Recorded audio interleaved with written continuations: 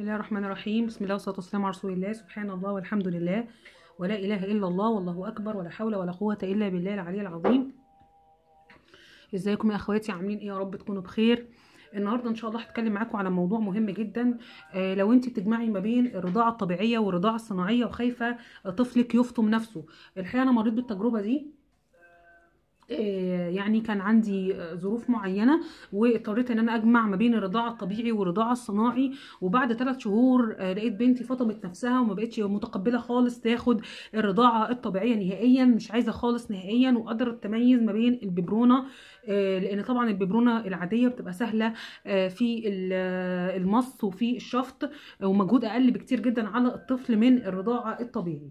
ففي الحقيقة برضو اتكررت معايا نفس التجربة وبرضو اتكررت معايا نفس الظروف وبالتالي برضو بقيت خايفة إن إن برضو الطفل إن هو بنتي برضو تفطم نفسها. من الرضاعة الطبيعي.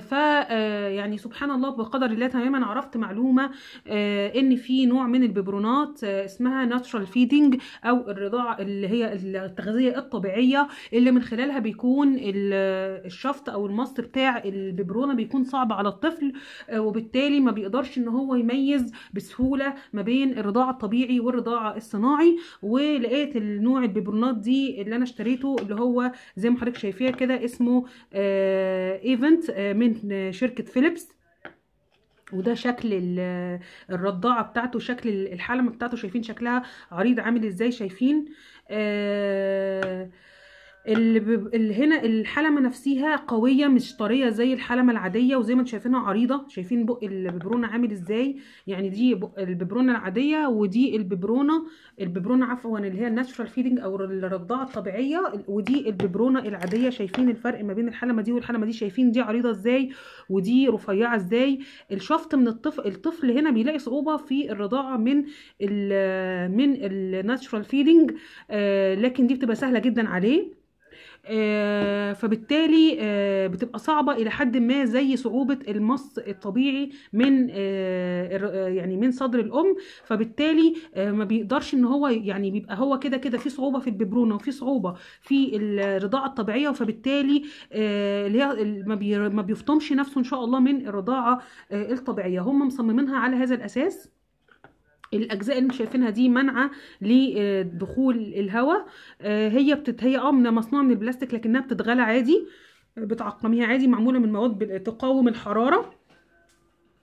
أنا جبتها منين؟ جبتها موجودة في كل الصيدليات على فكرة بس أنا جبتها من سوق dot com كان عليها عرض.